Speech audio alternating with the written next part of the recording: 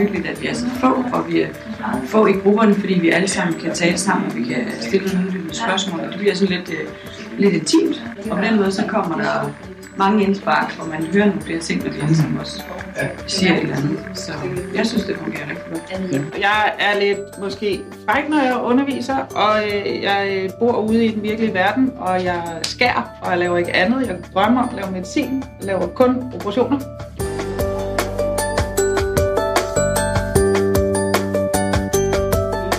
Små fif, som man bare ikke har tænkt over, øh, som der måske kan gøre det lidt lettere, og gøre det lidt mere... Nej, det gør vi. Specielt den der måde med lige, lige, lige frem at stille sådan et, et, et, et flow-diagram op, det synes jeg faktisk for, for nogle af de ting, man måske ikke har så stor erfaring i, eller måske ikke er ens øh, kerneinteresseområder, så kan det være sådan en, en simpel løsning til ligesom at øh, gøre en rimelig tryg i forhold til, hvordan man ligesom skal tilgå en, en vis patienttype.